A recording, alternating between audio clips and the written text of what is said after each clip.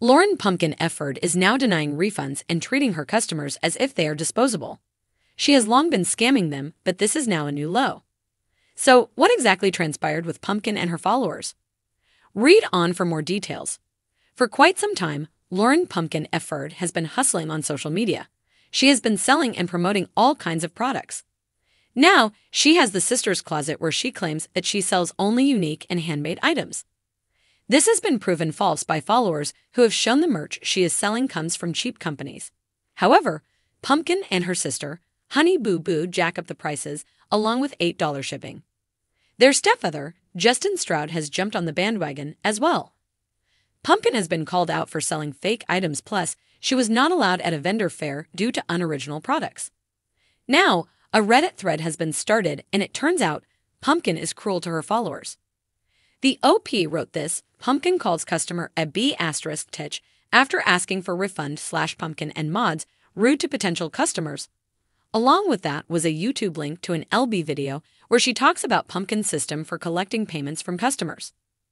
Essentially, she has them claim an item and send in the shipping fee. If she does not immediately receive it, she will put back the item for someone else to purchase. However, Pumpkin will snap if she does not like what someone will comment to her.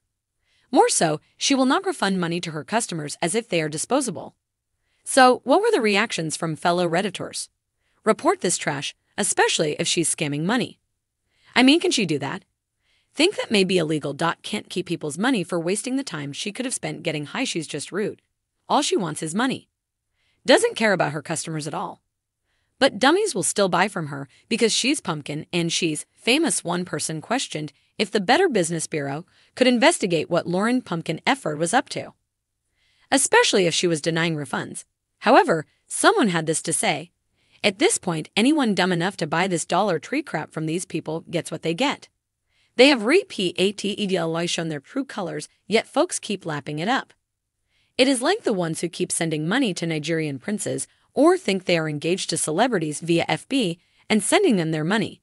All the info is there and you still choose to engage just because of some weird parasocial relationship.